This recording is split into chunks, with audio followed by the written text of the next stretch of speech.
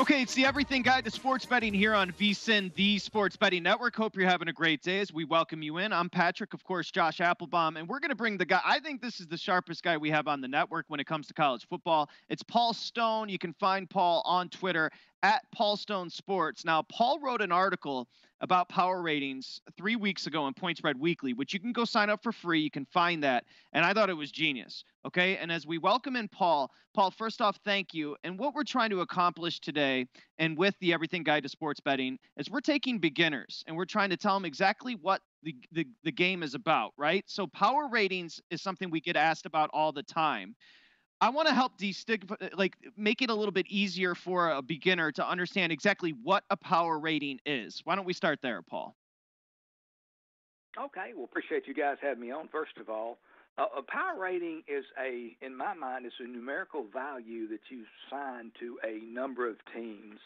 So in college football, you've got 130 teams that participate at the FBS level you have to determine, and I'm just going to kind of go with it unless you guys want to jump in. Oh, please. You have to determine the numerical scale that you're going to use for your power ratings. For me, I use a scale where the top team is going to be around 100 starting the year. The bottom of those 130 teams is going to be about 40 at the start of the year. So you have a uh, span there of 60 points, which is roughly uh, what the point spread would be uh, in a neutral site game between the best, the number one team of 130 teams, and the lowest of those teams. So last year I started Clemson, I believe, at 97 points.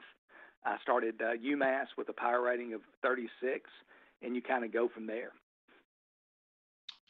Paul, it's so great to have you on. Big fan of your work, and I think you're the perfect guy to really help new bettors try to understand power ratings and then use them to your advantage. So, uh, I just wanted to ask you just some some basic stuff. When did you start making power ratings? Uh, how much experience do you have? Obviously, uh, an incredibly vast amount here, but what are some criteria, stats? What do you lean on? What do you really look at to come up with these numbers? It's very subjective. I tell you, it is extremely subjective. You, you kind of have to. Everybody's an experiment of one, but some of the things you determine. Uh, you're going to first of all, the, the first 30 teams are going to be pretty easy to identify. The same teams are good every year. The bottom 30 teams, the same teams are bad every year. As you might imagine, uh, the MAC, the uh, Sun Belt's going to be heavily represented in the bottom 30, and then the usual suspects, the Clemson's, Ohio States, and so forth, to be in the top 30. It's the middle 70 that's that's really difficult. But I start with that quarterback position. It's the most critical position on the field, whether you're talking about college, NFL, or high school.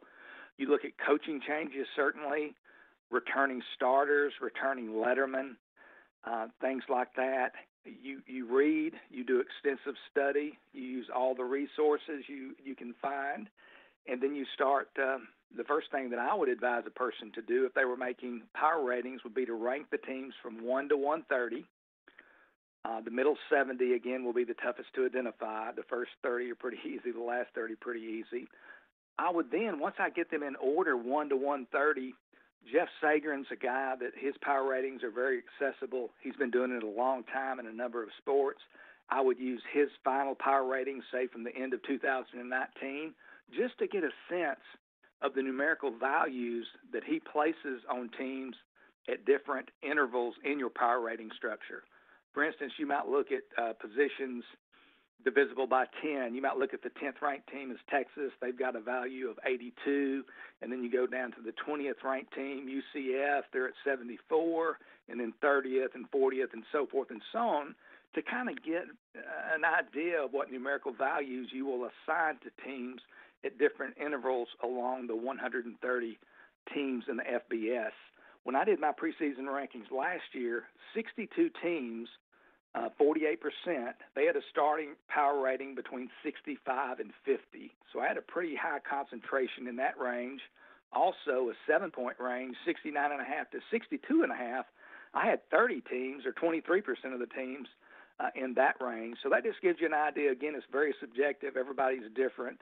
Uh, there's going to be a lot of trial and error. You're going to develop your own style, but that's kind of a starting point of how I would advise someone to get started in the art and science of developing power ratings. I think it's a great start for new bettors there, Paul. And again, thank you so much for coming on the Everything Guide to Sports Betting.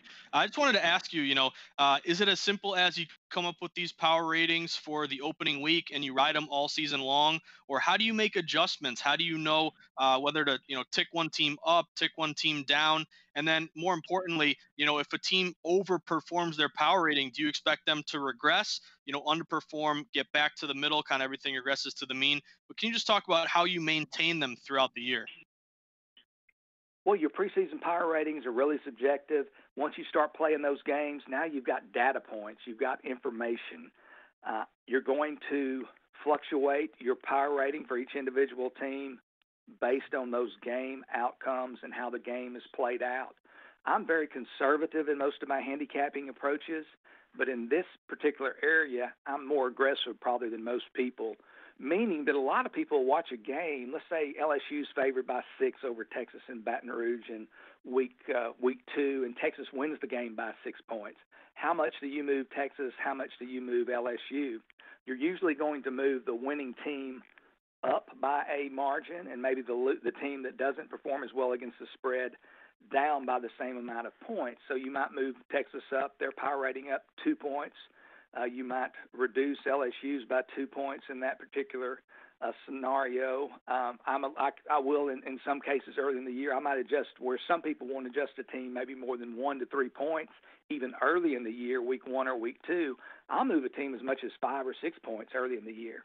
You know, in some cases, a team has a uh, first-year starting quarterback who's never played, and uh, he's replacing a two-year starter who has 20 who had 25 career starts and so you think the quarterback position is going to be a little bit below what it was last year, at least early in the season, and you have that factored into that power rating. But now you see the first game, and you see that this guy that's never played has mobility. You see that he can make plays off schedule with his feet, that he doesn't look uh, like he's really under a lot of pressure in the pocket. He just calmly steps up. And you say, man, this team's better than I thought they were. I'm going to raise them, you know, by game's end. You've got them raised maybe four points. So don't be – shy, especially early in the year, about moving the uh, power rating fairly dramatically because as good as I think my power ratings are, uh, they are based on you know a lot of subjectivity. And once you start getting information in, in in the way of game results and the way that a game flows, then you start having something really to go on a little more concrete. Paul Stone, you're the best. Remember, he went into great detail three weeks ago, Point Spread Weekly. Download it, read it. You're going to learn a ton. Thank you, Paul, at Paul Stone Sports on Twitter. We're coming back Thank as we Paul. continue the Everything Guide to Sports Betting right here on VSIN, the Sports Betting Network.